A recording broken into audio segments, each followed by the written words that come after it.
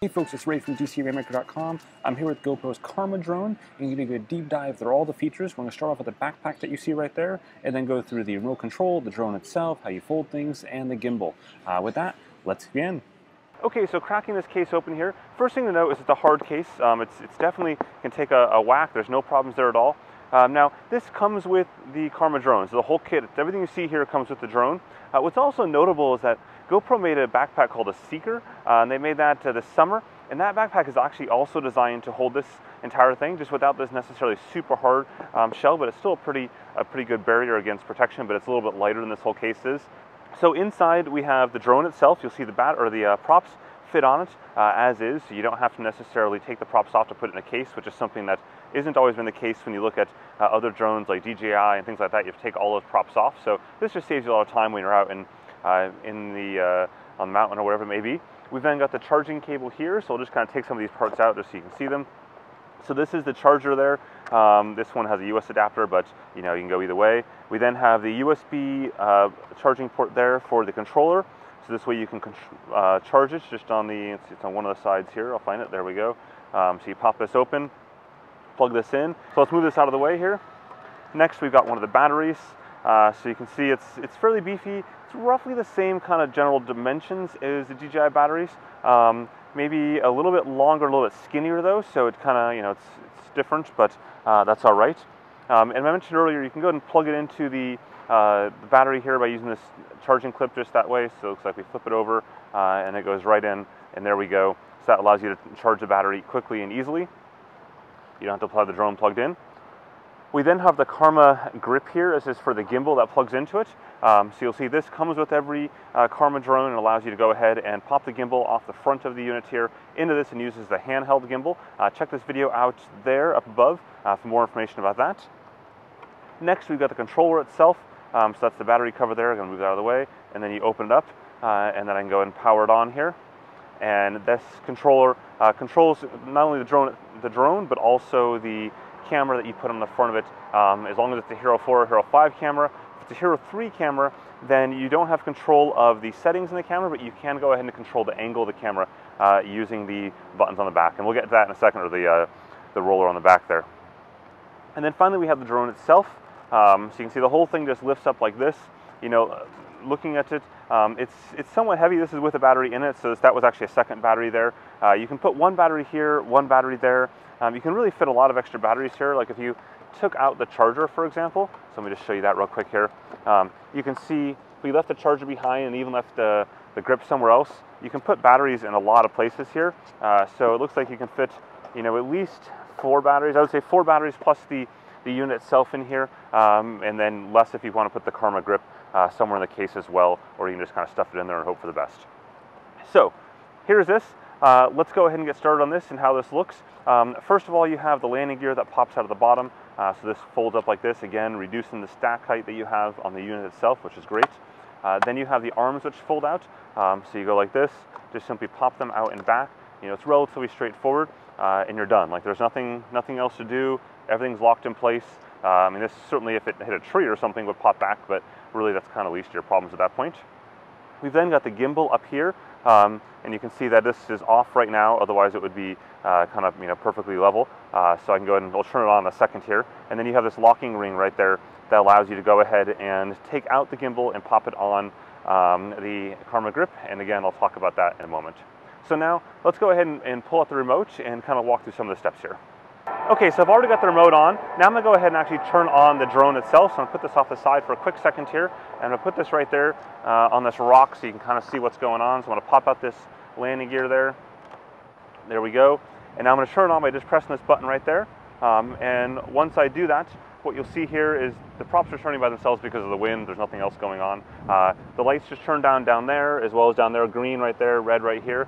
The camera also just turned on, so you heard the beep beep beep of the camera itself turning on. So uh, that's powered up by the drone. Um, and the way that works is in the gimbal itself, uh, there's both a USB-C port as well as a HDMI port. HDMI uh, is for transferring the video back to the controller, uh, and the USB-C provides power as well as control. Okay, so here's the drone controller here. Um, now we're going to talk about some of the, the options and what are on here. Uh, you've got your joysticks right here for control. Uh, on the back side here, you have your gimbal control, this goes up and down for the gimbal. Um, so if you look at the drone here, I should be at a, there we go, you can see as I do that, um, the camera on the front there rotates back and forth. Uh, this is obviously power. Um, you have start and stop for turning it on. This is your takeoff uh, and return to home point there. On this side here, we have an automatic highlight tag, uh, and then we have recording, stop and start. Uh, so again, with the, and this is also changing your mode of your camera as well. With the highlight tag, what that does allows you to highlight a point in time uh, within the video so you can find it quickly and easily within GoPro's uh, basically online editor, not online, but their editing system both on the desktop as well as mobile apps. The screen itself is pretty bright. I'm, I'm outside, you can see my reflection right there in fact. Um, I'm gonna go ahead and it's all touchscreen so you're not using your phone for everything or anything at all, sorry. Uh, and I'm gonna go ahead and you can see maps for example. Um, now the way this works is you're gonna load in different maps based on your location. So this is done via Wi-Fi at your house, and if you went back, uh, let me just go into Maps here to show you what I, I see there. Uh, internet's not available right here. Uh, this would allow you to load this as Squaw Valley, uh, and I can go back and you can add locations in uh, once you're connected to Wi-Fi, and right now, again, I'm not, not in Wi-Fi range here, but if I go back to the controller, I'll show you in the connect um, options. This is where you connect to uh, the Karma drone as well as connect to Wi-Fi at your house. Uh, that way you can download maps. This is also where you can connect to the passenger app. Uh, the passenger app allows a second person to use their mobile phone to go ahead and control the camera as well as view what the camera is doing. So essentially it's like a secondary controller or secondary remote operator. Um, and that's something that's really notable because on a DJI platform, for example, you can do that, uh, but it requires a whole separate controller and that's cost a lot of money, uh, whereas this doesn't. So it's something that, you know, it's definitely a cool option, allows just your friend to grab their phone and toss it in and be good to go. Uh, we'll go into preferences real quick here. We have voice alerts, uh, volume is muted, so we can turn that up for the fun of it. There we go, go back, and you just press these big buttons to go back. We sleep display, language, so if we look at uh, units here, imperial metrics at things like feet, miles per hour, etc. Uh, let's see, again, going back to language just to show you what's in there. So you can see all the languages right there that are supported. Sorry for the helicopter that's coming by here. And then uh, that's pretty much it in the preferences right now. Uh, so it's a little bit easier. So I'm kind of holding at the same time, so I'm missing some of those taps there. Uh, let's see, GoPro cares if you crash your drone. Uh, Learn allows you to go into the simulator, um, so you can say practice flying in the flight simulator here, and crack that open. Now this is cool, it allows you to easily control where you're going. So I'll show you that here. I'll load this up. Okay, there we go. Um, so you see now it's, it's loaded up. I can go ahead then and uh, press and hold the start button to start the motors. and now it started the motors there, and I can press tap to take off. Um, and this is all in the simulator itself. Uh, and at this point, I can go ahead and change view, so I can look at the first person view there by tapping that, uh, and then simply control, this is going up, uh, forward, you know, turning around. Um, the drone controls are very similar to other drones, there's not a lot of difference here. I can uh, control the gimbal by using the, the down, uh, up and down on the back here. Um, now what that's doing up here is showing you the angle as well, which is kind of nice. Like it's a handy little thing to be able to quickly see the angle if I'm trying to replicate a shot over and over again. Uh, and then again, I can go up, forward. I mean, it's all uh, pretty standard for drones. Is how drones, insofar as how drones work. Um, nothing really terribly different here. Uh, I can change my camera mode here. I don't know if it's going to show that in the simulator. It doesn't look like it. Uh, and the same with the highlight tags. Those quite aren't quite working, which is fine. And I'll go ahead and press this uh, return to home button there, and you can say return to launch, return, return to you. That's useful if you've moved since you've taken off. So like if you're skiing down a hill and you start at the top of the hill, you don't want the drone to return to the top of the lift. You want it to return to you if you're at the bottom of the hill. Uh, so I would go just say return to launch, and it'll go back there. and probably shouldn't tap hard enough there. Um, and you can see now it's showing me the distance there, um, and it's going to go ahead and return it automatically to me. And there we go. And we'll go ahead and land here in a second. Okay, so I'm going to exit out of the simulator here. Uh, I'm going to basically just cancel that operation. And we'll go back into the main mode here, and we can also look at media that's on the unit itself. Okay, so there you go. Uh, some of the media, this is mostly just from within the show floor there. Um, now it's pulling it up relatively quickly, so I'm going to go ahead and just click on a, uh, let's just click on something random here. We'll click on this, I don't know what this is. And we can hit play just to show you how fast this, this loads if you're out somewhere else and want to kind of see this here and you know see video in real time. Um, so there you go. Uh, pulled that pretty quickly there. You know, maybe was it 10 seconds to get that to go, and now it replays it. So it's not bad if you want to quickly check something. Uh, both photos, videos uh, are offered in this.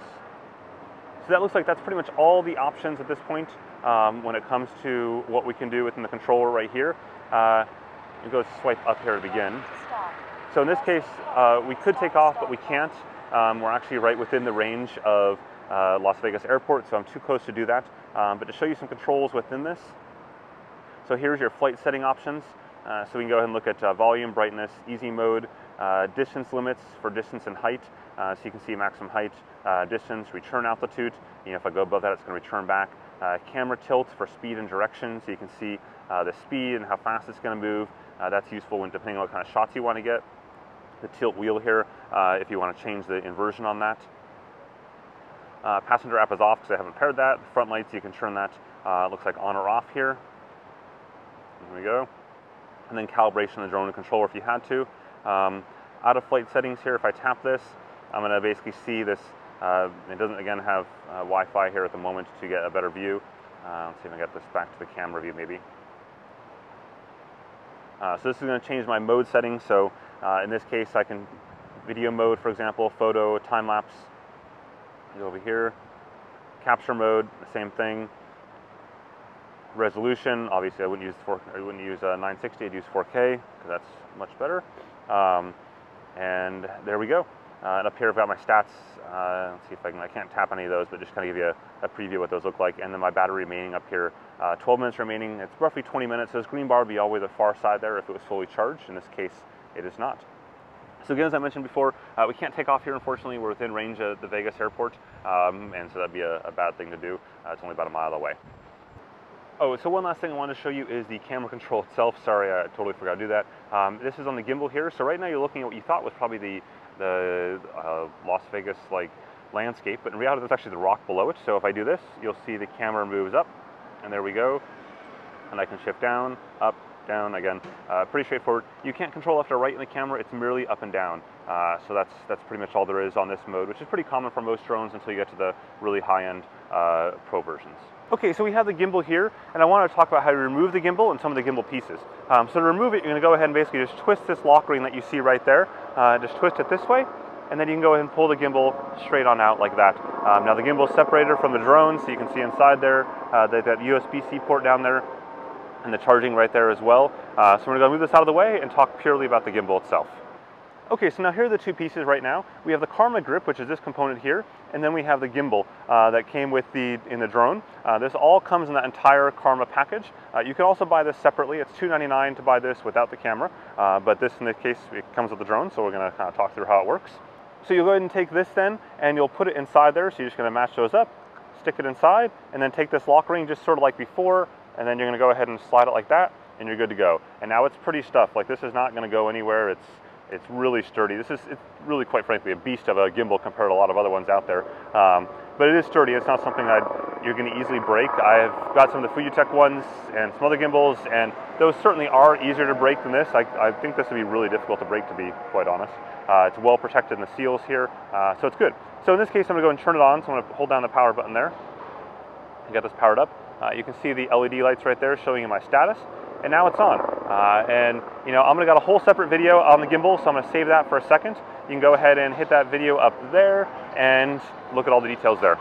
Okay, before we wrap up, I just want to kind of show you this unfolding uh, as opposed to being on the rock earlier. We're just going to kind of do it here in person.